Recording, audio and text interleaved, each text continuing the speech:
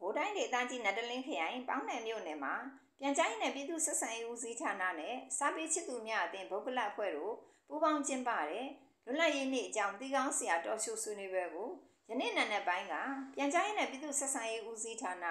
လူလူအခြေပြုဗဟိုဌာန Community Center ခမ်းမမှာကျင်းပခဲ့ကြောင်းသိရပါတယ်။အဆိုပါတော်ရှိုးဆွေးနွေးပွဲမှာတော့ပြန်ကြားရေးနဲ့ပြည်သူ့ဆက်ဆံရေးဦးစီးဌာနဦးစီးရာရှိဒေါ်ရေးစင်နဲ့ စာပေချစ်သူများအသင်းဗုဒ္ဓလအဖွဲ့ဝင်စာရေးဆရာစန်းလွင်ပညာပေါင်းတယ်တို့ကမြန်မာနိုင်ငံလွတ်လပ်ရေးကြိုးပမ်းမှုသမိုင်းကြောင်းတွေနိုင်ငံရဲ့လူနေမှုအခွင့်အရေးစာပေနဲ့တရားစာတတွေကိုတိုင်းတစ်ပါးသားတွေကချက်လက်ကြီးစိုးသွားတဲ့အတွက်သူ့ကြုံဘဝကြာရောက်ခဲ့ရပုံတွေတိုင်းရင်းသားအားလုံးကသွေးစည်းညီညွတ်စွာနဲ့တွန်းလှန်တိုက်ခတ်ခဲ့တဲ့အတွက်လွတ်လပ်ရေးပြန်လည်ရရှိခဲ့ပုံတွေရရှိပြီးတဲ့လွတ်လပ်ရေး အတွန်းစီတည်တံ့ခိုင်မြဲရေးတိုင်းရင်းသားအားလုံးရဲ့တာဝန်ဖြစ်ကြောင်းတွေကိုဆွေးနွေးပေးခဲ့ပါတယ်ဟိုကျွန်တော်တို့မြန်မာနိုင်ငံကြီးကိုနှစ်ချက်အင်္ဂလိပ်တွေကနေပြီးတော့ရင်လာကျူးကျော်စစ်၃ချိန်နဲ့တိုက်ခိုက်သိမ်းပိုက်ပြီးတော့ရင်နောက်ဆုံးပိတ်မှာဆိုရင်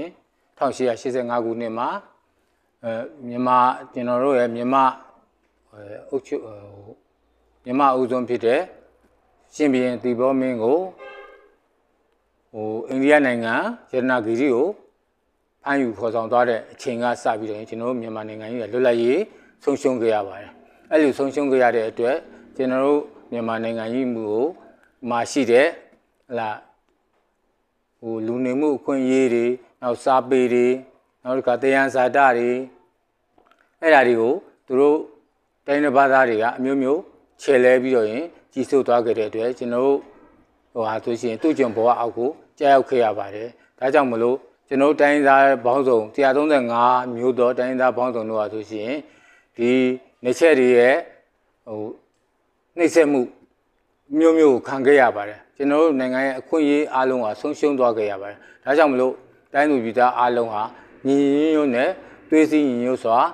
ဒီနယ်ချက်ကိုတိုက်ထုတ်ဖို့အတွက်အမျိုးမျိုးတွန်းလှန်တိုက်ခိုက်ခဲ့ကြပါတယ် နောက်ဆုံးပိတ်မှာဆိုရင်ဗိုလ်ချုပ်အောင်ဆန်းတို့ဦးဆောင်တဲ့ခေါင်းဆောင်ကြီးများအဖွဲ့အဆိုရှင်1948ခုနှစ်ဖေဖော်ဝါရီလ10ရက်နေ့မှာပင်လုံစာချုပ်အရတောင်တန်းမြေပြန့်မခွဲခြားဘဲနဲ့တိုင်းပြည်လုံးသွေးစည်းညီညွတ်စွာနှစ်ချက်လက်အောက်ကနေလွတ်လပ်ရေးကိုတပေါင်းတစည်းတည်းရယူမယ်လို့ဆုံးဖြတ်ဆုံးဖြတ်တဲ့အချိန်ကစပြီးတော့ရင်ကျွန်တော်တို့မြန်မာနိုင်ငံကြီးကို1948ခုနှစ်ဇန်နဝါရီလ4ရက်နေ့မှာလွတ်လပ်ရေး ရရှိလာခဲ့ပါတယ်။သွေးစည်းညီညွတ်စွာ